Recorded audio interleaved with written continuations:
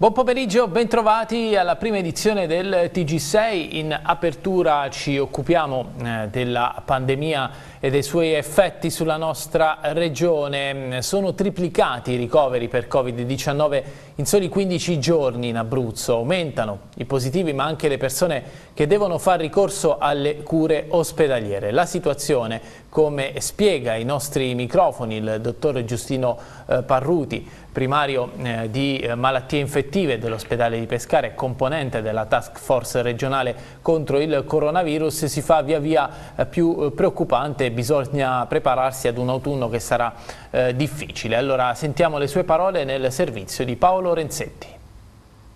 Dottor Parruti, tornata un po' l'emergenza per quanto riguarda il Covid-19, eh, sono triplicati in due settimane i ricoveri, eh, stanno crescendo i positivi e stanno aumentando anche i ricoverati eh, nelle rianimazioni e nelle terapie intensive, un quadro non proprio eh, positivo. Purtroppo la situazione sta evolvendo in questo senso, eh, abbiamo sempre più frequentemente pazienti che cominciano a giungere al pronto soccorso con insufficienza respiratoria, un po' come ci è successo nel mese di marzo, quindi eh, siamo più o meno sui 10-12 casi valutati qui a Pescara al giorno, dei quali invariabilmente una metà esita in ricovero, mentre per gli altri possiamo trovare soluzioni alternative. Certo è una situazione che ci genera uh, un importante carico organizzativo perché la rapidità con cui sta salendo questa popolazione giustamente chiede una riorganizzazione pronta uh, della disposizione eh, dei servizi, nostri, della nostra assistenza e soprattutto ci chiede di avere dei comportamenti molto omogenei perché abbiamo imparato a gestire queste situazioni, sappiamo quanto sia importante la tempestività della terapia giusta quando li incontriamo, quindi è importante non solo diciamo, un'organizzazione formale ma un'organizzazione sostanziale che garantisca a ciascun malato il meglio delle cure. In questo momento in cui parliamo sono 54, sta arrivando un 55esimo e sono 6, 7 e forse dovremmo prendere qualcun altro i malati degenti in terapia terapia intensiva, quindi eh, diciamo che c'è un aumento piuttosto costante negli ultimi giorni anche dei ricoverati di, di terapia intensiva. Non è un fenomeno delle età estremamente avanzate, eh, l'età media adesso insomma credo che nel pomeriggio ci metteremo un attimo a ricalcolarla ma eh, siamo con una range tra i 45, 50 e 65, 70 anni, quindi l'età media è quella di una popolazione adulta. Va verso il periodo più freddo e soprattutto si va verso un um, maggior tempo speso in, in casa, quindi un maggior tempo speso in condizioni di potenziale eh, ambiente chiuso facilitante la diffusione, quindi eh, crescono le affezioni respiratorie, c'è la scuola. Tutto questo significa che adesso non possiamo veramente eh, più scherzare, cioè se vogliamo mitigare il diffondersi di questa nuova puntata epidemica, se vogliamo far sì che le risorse che questa regione ha preparato saggiamente e celermente per far fronte al bisogno non siano soverchiate dal numero dei casi, occorre la responsabilità di ognuno, perché quello che abbiamo sempre detto rimane ancora più vero oggi. Noi dobbiamo assolutamente evitare un ulteriore diffondersi del contagio perché nei termini in cui siamo adesso la nostra organizzazione strutturale ce la può fare. Se dovesse salire a dismisura la diffusione delle forme asintomatiche non, non potremmo avere comunque un'adeguata gestione delle forme sintomatiche, quindi questa è una cosa che ognuno di noi deve sentire come il suo compito, non solo il nostro. Adesso la politica regionale caos all'Aquila per la seduta del Consiglio che sarebbe dovuta iniziare alle ore 12 ma che al momento non è ancora eh, cominciata. Nelle prossime ore, nei prossimi minuti la Lega potrebbe chiedere eh, la testa dell'assessore Mauro Febbo dopo eh, quello che è accaduto nelle scorse elezioni amministrative, in particolare a Chieti. Nel frattempo è confusione anche per quanto riguarda il programma della giornata e le commissioni, in particolare in quella bilancio e eh, il percorso viene definito eh, lungo, eh, quello che riguarda la delibera per i fondi per il ritiro del Napoli Calcio a Castel di Sangro. Allora vediamo il servizio di Giuseppe Dintino. Mattinata a dir poco tesa all'Aquila, dove si è svolto in maniera telematica, in linea col nuovo DPCM, il Consiglio regionale che era stato rinviato dopo la positività al Covid di un collaboratore del gruppo parlamentare della Lega. L'emergenza sanitaria però non rimanda le tensioni all'interno della maggioranza. Alle 10 di questa mattina, infatti, proprio in concomitanza alle commissioni regionali, si è riunito il coordinamento politico del Carroccio. Dobbiamo discutere delle leggi per l'Abruzzo, ha detto Luigi Deramo, ma è possibile che presto la Lega chieda chieda al Presidente Marsilio di estromettere l'assessore Mauro Febbo dalla Giunta e questo come il regolamento dei conti in seguito alle sconfitte delle amministrative di Chieti e Avezzano dove l'assessore si era schierato contro i candidati salviniani. All'attacco la pentastellata Sara Marcozzi che parla di atteggiamento vergognoso e responsabile accusando la maggioranza di anteporre gli interessi di partito al lavoro urgente. Tra i corridoi, fa sapere la capogruppo del Movimento 5 Stelle, si vocifera di un ricatto della Lega in attesa della rimozione dal ruolo di assessore del traditore Febbo. Insomma l'Abruzzo, conclude la Marcozzi, è paralizzato per i giochi di poltrone. Non dello stesso avviso il leghista Simone Angelosante, che celebra l'approvazione del provvedimento europeo. È stato approvato il provvedimento europeo, che è lo strumento che la Regione Abruzzo eh, svolge nella fase ascendente, nella fase discendente delle leggi europee. La maggioranza ha votato compattamente, al al di là delle polemiche che ci sono state c'è stato semplicemente un rinvio di un'ora, doveva iniziare alle 10 la, prima, la, la commissione e invece è iniziata alle 11, non mi sembra un grande problema. La seduta del Consiglio è iniziata in ritardo e l'ordine del giorno è molto fitto, la variazione del bilancio sul ritiro del Napoli Calcio a Castel di Sangro incagliata e il caos che in questo momento sta imperando nel capoluogo rischia di far slittare il programma dei lavori. Intanto alcuni consiglieri di opposizione opposizione si lamentano anche della modalità da remoto della seduta, secondo cui sarebbe utile a restringere le loro prerogative. Adesso andiamo in provincia di Teramo, riconnettere il territorio per contrastare gli effetti negativi del Covid e la volontà della provincia che ha presentato una task force di esperti che affiancherà l'ente nelle attività di progettazione strategica su investimenti infrastrutturali, su economia e su eh, turismo. L'obiettivo è quello di arrivare a mettere in campo dei progetti competitivi per attrarre le risorse che arriveranno dall'Europa e dal Next Generation Generation EU, il Recovery Fund per meglio dire, e dalla progettazione europea 2021-2027 con la struttura nominata dalla provincia che sarà a disposizione anche degli enti locali e delle parti eh, sociali. Vediamo il servizio. Oggi parte un percorso nuovo, un, un, percorso di sviluppo del territorio della provincia di Teramo, nasce da un indirizzo politico importante del Presidente della provincia, di mettere al centro il territorio con tutti gli attori fondamentali al fine quindi di ricostruire percorsi che sappiano cogliere tutte le potenzialità, gli strumenti di finanziamento in questo momento storico così importante e particolare.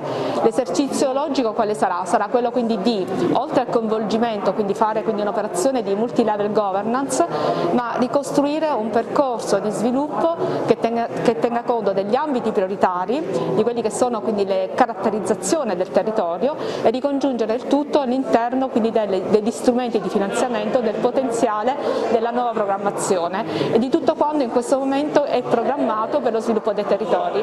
Una sfida importante che richiede un esercizio progettuale nuovo, innovativo e che richiede coraggio che richiede impegno, ma che sicuramente il territorio saprà cogliere vedere. È importante per la provincia in questo momento mettere insieme tutte le istituzioni, i comuni, gli enti sovracomunali ma anche diciamo, le personalità di spicco che provengono da questo territorio, che hanno ruoli e che hanno anche capacità di fare progettazione. Eh, il Covid-19 ha consentito di avere la possibilità diciamo, di ripensare il territorio. Da una parte certamente ci si sta concentrando molto sulla sanità e la salute ma dobbiamo capire che il territorio ha bisogno anche anche di economie, di nuove economie, di nuovi progetti, di digitale, di smart city, ma anche di capacità di raccogliere i fondi europei e di portarli sul territorio. Questa cabina di regia fatta di professionisti servirà a questo, raccogliere i migliori progetti e trovare le risorse per realizzarli. È importante assolutamente creare una rete infrastrutturale in provincia di Teramo, sia hard o soft, cioè materiale o immateriale, nel senso strade e autostrade piuttosto che internet, fibra e 5G. Dobbiamo connettere i territori e ogni territorio ci indicherà sicuramente quali modelli di sviluppo potremmo far insistere sulle nuove infrastrutture. Questa è l'idea di Massima. Eh, come ho già detto ci sono tutta una serie di progetti e ogni progetto deve iniziare con l'ascolto, l'ascolto dei territori. La provincia di Teramo farà da mm, catalizzatore di tutte quante queste idee e appena i fondi saranno disponibili li metteremo a terra. L'Ordine dei giornalisti d'Abruzzo insorge contro la gestione da parte della eh, Regione dei finanziamenti statali destinati a formazione e comunicazione per la campagna anti-influenzale. Il presidente dell'Ordine Stefano Pallotta spiega che la ehm, totalità quasi della somma di 600.000 euro sarà distribuita ai medici di base mentre agli organi di informazione sarà riservata solo una parte residuale. Sentiamo il servizio di Tania Bonnici Castelli. La Regione Abruzzo riceve dal Governo 600.000 euro da destinare alla formazione dei medici di base e alla campagna di comunicazione sulla vaccinazione antinfluenzale. Peccato che l'ente regionale abbia deciso di destinare la quasi totalità del finanziamento alla formazione, lasciando solo una somma residua di 50.000 euro per la comunicazione istituzionale. Insorge l'Ordine dei giornalisti che reputa la scelta lesiva per l'intero settore e ricorda come gli organi di informazione, soprattutto in questi mesi di emergenza, emergenza abbiano svolto e svolgano un ruolo coraggioso e autorevole. A fronte di uno stanziamento di 650 mila euro ai mezzi di informazione che dovrebbero sollecitare le persone a vaccinarsi proprio per evitare di confondere l'epidemia Covid con i sintomi eh, influenzali che sono tipici della stagione, soltanto 50 mila euro sono stati destinati ai mezzi di informazione. Questo in un, inserito in un contesto più ampio di sottovalutazione dell'importanza della comunicazione istituzionale descrive un quadro, disegna un quadro assolutamente deprimente. E allora io credo che le istituzioni, la Regione, debba fare uno sforzo in più quando riceve da parte dei fondi statali per questo tipo di interventi non dovrebbe sottrarre fondi alla comunicazione istituzionale, ma dovrebbe invece incentivarla questa cosa, perché svolgiamo un ruolo fondamentale, lo abbiamo dimostrato durante il periodo dell'epidemia, che il nostro ruolo è un ruolo centrale perché si batte contro le false informazioni, perché si batte contro la disinformazione, perché queste cose se passano sono ancora più pericolose della pandemia. E allora io credo che da parte delle istituzioni, ripeto, c'è bisogno non solo di destinare fondi, questi fondi finalizzati alla comunicazione ai mezzi di informazione abruzzesi, ma vada fatto addirittura un passo ulteriore, che è quello di approvare una legge regionale sull'editoria che quasi ormai tutte le regioni hanno e che rappresenta dire, un elemento importante per la vita democratica e per la conoscenza che le persone devono avere, una conoscenza consapevole dei problemi e dei fatti. Quindi al di là di questa vicenda io credo che si inserisca in un discorso più ampio, più generale, su cui noi non possiamo assolutamente come categoria ormai eh, indugiare oltre, dobbiamo assolutamente portare mettere di fronte le istituzioni regionali ma anche le amministrazioni comunali di fronte a queste responsabilità, che sono responsabilità molto grosse. Angiolo Pellegrini oggi a Pescara ha presentato presso l'alberghiero De Cecco il suo libro Noi gli uomini di Falcone, ha inaugurato anche il monumento Il Sorriso posto nel cortile eh, dell'Ipsar. Allora vediamo il servizio di Paolo Renzetti.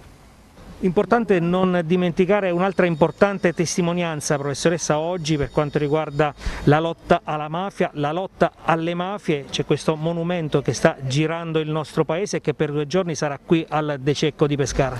E per noi è un grandissimo onore che grazie al Premio Nazionale Paolo Borsellino eh, si possa iniziare una serie di eventi appunto legati alla legalità e al premio con una personalità straordinaria che è il generale Angelo Pellegrini. È molto importante importante anche che si sia avuta l'opportunità di avere qui nel nostro istituto per due giorni un monumento straordinario chiamato il Sorriso, è una pietra della Maiella su cui sono intagliati volti di Falcone e Borsellino. È un grande messaggio, un messaggio di forza, di resistenza, di determinazione, di voglia di lotta alle mafie ma anche alle logiche mafiose e quindi di costruzione di un bel futuro più giusto per i nostri studenti. Generale, lei ha dedicato tutta la sua vita alla lotta alle mafie, il messaggio da lanciare a questi ragazzi? Ragazzi, eh, la mafia esiste, i mafiosi ancora ci sono, sta solamente a voi dare la speranza a coloro che hanno combattuto e a coloro che sono rimaste vittime della mafia che l'Italia può cambiare. Voi dovete dare la speranza in un futuro migliore, voi dovete essere quelle gambe su cui camminano le idee di Falcone, di Borsellino e di chi ha fatto indagini, anche le mie idee. Voi dovete essere voi. Io comincio a essere un po' stanco, vi dico la verità, anche se ho raggiunto una certa età, però continuo a combattere. Voi che siete giovanissimi, combattete e vedrete che la mafia può essere sconfitta. È stato compiuto anche quest'anno il cammino di San Tommaso, 300 km da Roma ad Ortona dove eh, sono conservate le spoglie dell'Apostolo Tommaso. Scopriamo di più su questa iniziativa e su chi era il santo custodito in Abruzzo nel servizio.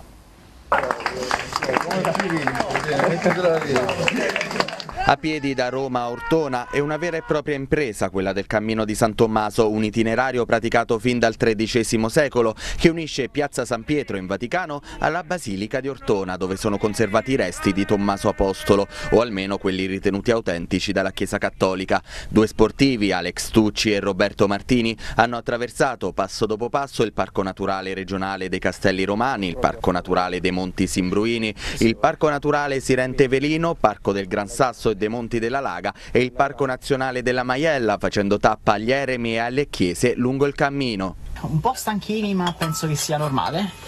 Adesso mangiamo, ci riposiamo e ripartiamo. Dai, forza! Circa 300 km percorsi in appena due giorni e mezzo attraversando l'Italia orizzontalmente.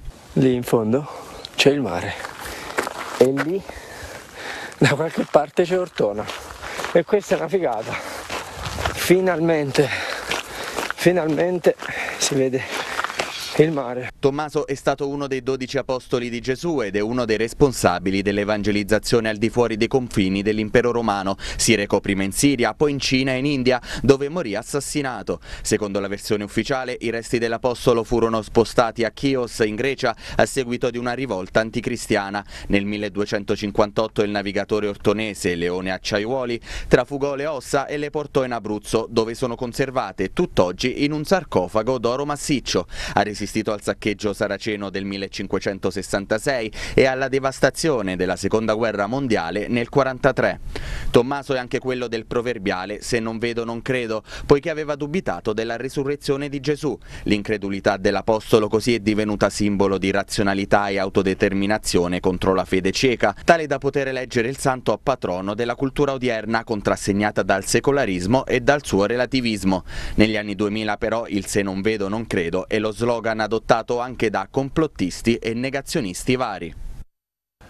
Andiamo avanti ora con la pagina dello sport, partiamo dal calcio di Serie B dal Pescara, turno infrasettimanale nel campionato con il Delfino che dopo il rovescio interno contro l'Empoli sabato va a fare visita al Venezia con tanti problemi di formazione specie nel reparto avanzato.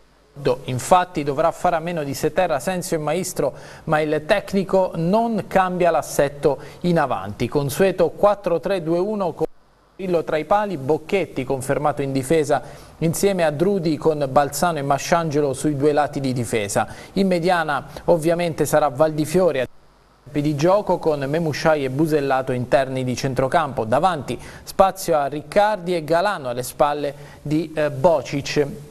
Il giovane numero 7, infatti, visti tanti forfè, giocherebbe come punta centrale, anche se non ha eh, quelle caratteristiche, ma l'emergenza chiaramente impone un sacrificio. In casa Venezia recuperato Malè con Aramu che agirà alle spalle di Capello e Forte, fischio di inizio alle ore 21 allo stadio Penso, arbitra Maggioni di Lecco e chiaramente l'invito a seguire eh, diretta stadio eh, questa sera per eh, avere tutte le notizie in tempo reale sulla partita fra Venezia e Pescara. E andiamo in casa eh, proprio del Venezia, il tecnico Zanetti si aspetta una battaglia nella sfida con i biancazzurri, non ci saranno molti cambiamenti rispetto alla partita con la Cremonese come ammette lo stesso allenatore nell'intervista che ascoltiamo. Eh, la squadra sta abbastanza bene, a parte tutto Gordò che ha un fastidio alla schiena e quindi dobbiamo valutarlo. In cambio recuperiamo Malè, recuperiamo Biarcaso e cercheremo di recuperare Felicioli almeno per la panchina. Eh, ne portiamo 26 anche se a malincuore in panchina ne posso portare 23 però in, questo, in questa partita voglio portare tutto il gruppo di, di disponibili perché eh, la partita secondo noi e secondo tutti è una partita importantissima per noi, eh, vogliamo insomma, stare uniti in questo momento e cercare di aiutarci uno con l'altro per portare a casa la vittoria.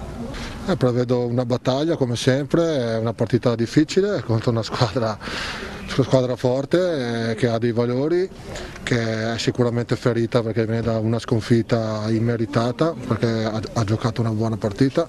E quindi vorrà portare a casa dei punti e, e noi dobbiamo cercare in casa di vincere le, le nostre partite, come ho detto tante volte eh, i campionati secondo me si, si fanno in casa e, e penso per noi deve diventare un fortino, abbiamo già perso una partita, noi l'abbiamo vinta e secondo me è già sufficiente così per quello che riguarda le sconfitte. Ma intanto conosco bene il mister, è sicuramente una squadra che gioca a calcio, che comunque il mister è un allenatore che gli piace il bel gioco, il, gioco di un, di un, certo tipo, è una squadra duttile che può giocare in vari moduli e ha dei giocatori tecnici, delle individualità importanti che, che, che può mettere in difficoltà chiunque, quindi bisogna stare assolutamente attenti, eh, per vincere questa partita dobbiamo essere al 100% e se non lo siamo fisicamente lo, lo dobbiamo dobbiamo essere dal punto di vista mentale.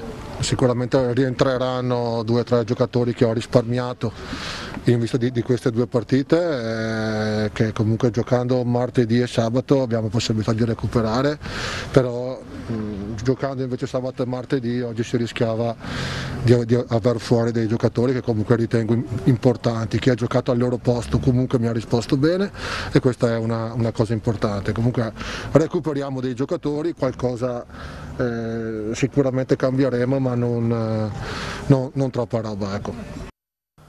Turno domani anche nel campionato di Serie C con il Teramo che andrà a fare visita al Potenza. Paci non recupera Bombaggi che non sarà convocato, così come Minelli e Gerbi. Soprano ancora in dubbio mentre rischia di saltare il match Lasic per un problema eh, fisico accusato dopo la gara con la Casertana. Rientra eh, dalla squalifica di Achite che se Lasic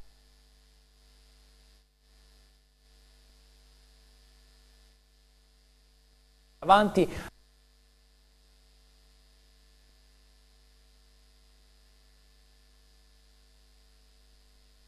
Di Francesco. Domani in campo alle Nico Paci questa mattina alla vigilia del match. Per noi è un'opportunità domani perché, perché per vedere un po' la maturità della squadra, non tanto dal punto di vista tattico ma dal punto di vista mentale, nella, nella preparazione alla partita con così poco tempo.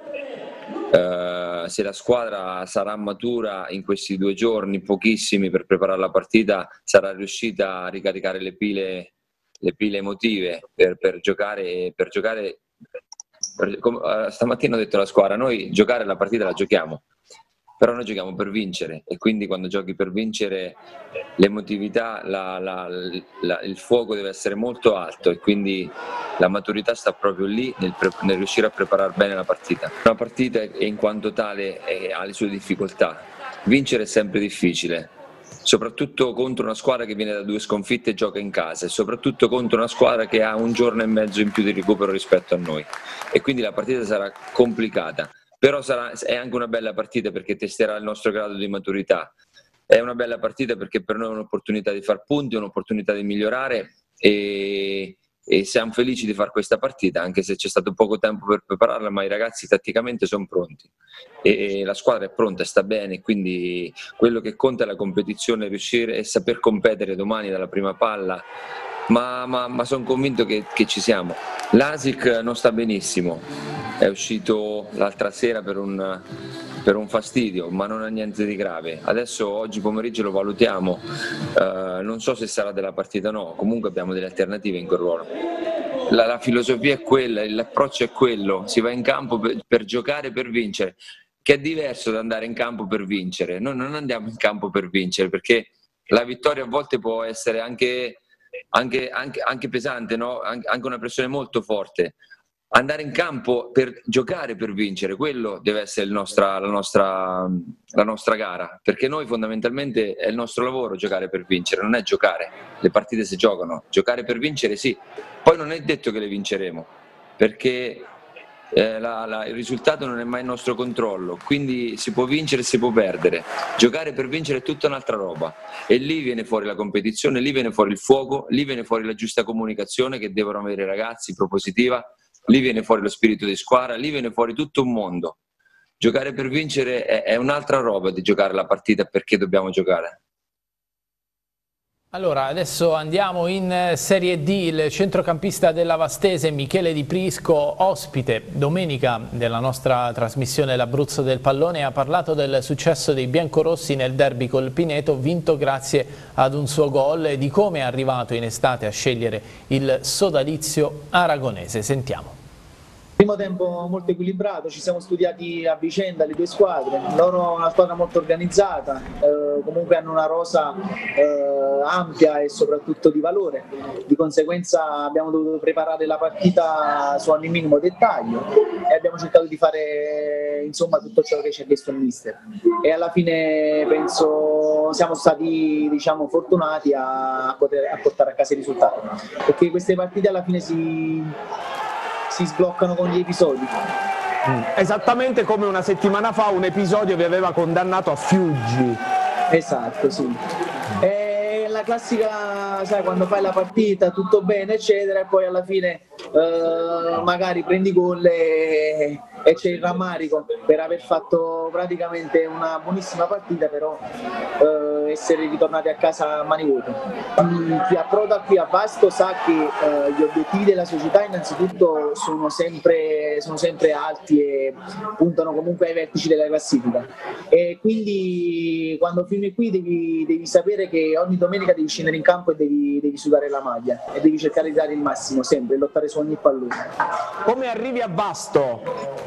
Ah, eh, a me ha chiamato il eh, direttore Nicola Dottavio, lui mi conosceva oh. già in passato, avevamo avuto contatti che mi aveva chiamato quando faceva il direttore sportivo all'Agnonese e, mm, e quest'anno mi ha chiamato e io sinceramente non ho esitato a firmare per una piazza così importante. Sicuramente un, un girone nuovo, avevo, mm, avevo, voglia anche di confrontarmi in un altro girone, quello del, del centro. Uh, l'anno scorso sono stato a Milano, uh, metà campionato, poi prima della chiusura del Covid ovviamente abbiamo fatto sei partite solamente però avevo voglia di confrontarmi anche in quest'altro campionato e quindi ho accettato subito la, la proposta del, del, direttore e del presidente della Vastese. Le prossime tre penso che, guarda, io preferisco sempre pensare una partita alla volta, quindi eh, ora ci godiamo questa, questa, serata, insomma siamo felici, siamo contenti di, di quello che abbiamo fatto, abbiamo fatto un'ottima prestazione è tutto per questa edizione del TG6, il prossimo appuntamento alle ore 19, vi ricordo attorno alle 20.30 anche diretta stadio per seguire la partita eh, di Serie B fra Venezia e Pescara. È tutto, grazie per l'attenzione e buona giornata.